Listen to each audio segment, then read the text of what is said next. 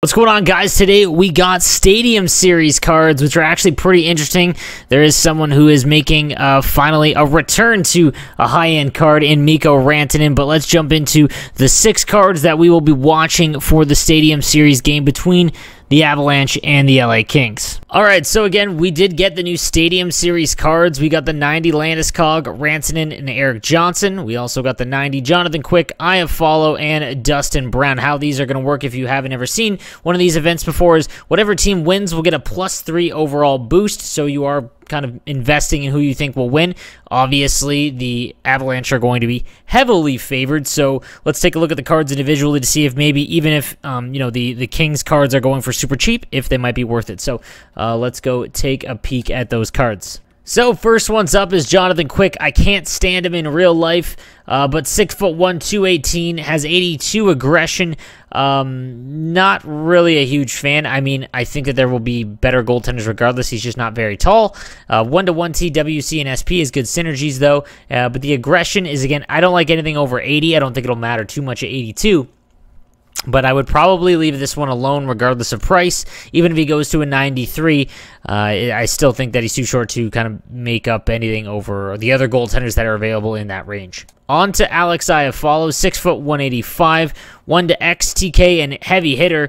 He's got 97 speed, acceleration, 99 agility, 90, 96 balance, 95 endurance. So very, very good skating. And then shooting, he's got 86 accuracy, 90 power. The hand stats are above 87, body checking 88 as well. Face-offs are 92, so this is a pretty good card regardless if he wins.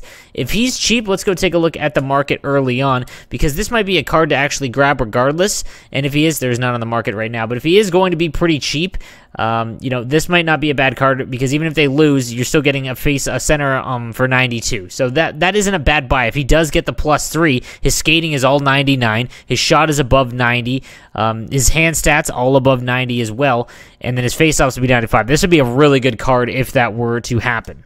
And then finally, the Dustin Brown, six foot two sixteen, uh, pretty slow, 93 speed, acceleration, and agility. Uh, shot is basically the same as Iafallo at 87 accuracy, 90 power. Hand stats a little bit worse.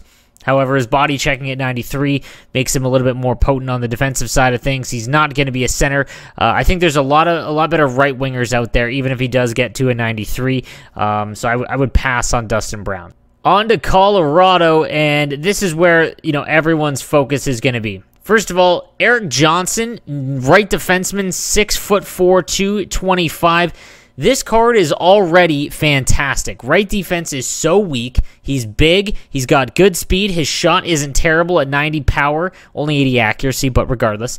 His hand stats is passing at 88, puck control at 86, body checking at 90, and then his defensive awareness at 89, stick checking 91. This is a great right defenseman card to begin with. If he gets a 93, you're talking about probably the best right defenseman card in the game right now. So uh, if you are going to invest in any of them, I would do Erik Johnson just because regardless if he wins or not, this is a usable right defenseman card for you know the foreseeable future. And then we get the 90 Mikko Rantanen. We haven't had a Mikko Rantanen card uh, since basically launch weekend with the classic one.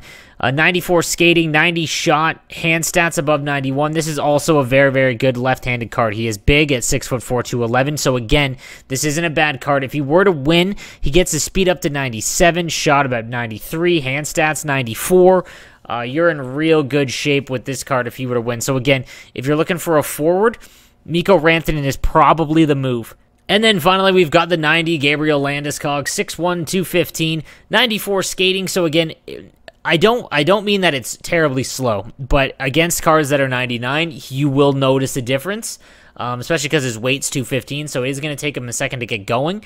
Um, shot stats under 80, under 90, hand stats under 90 as well. This one would be an avoid because I think because he is a Colorado Avalanche and they're obviously the heavy, heavy favorite here, um, I would pass because even if he gets a 93, he's you know obviously still an okay card, but I think the price you're gonna have to pay to for the risk involved, like so let's say somehow LA wins, um, you just wasted a ton of coins and you could have invested it somewhere else. So this would be the one I would avoid on the Avalanche, but the other two are fantastic.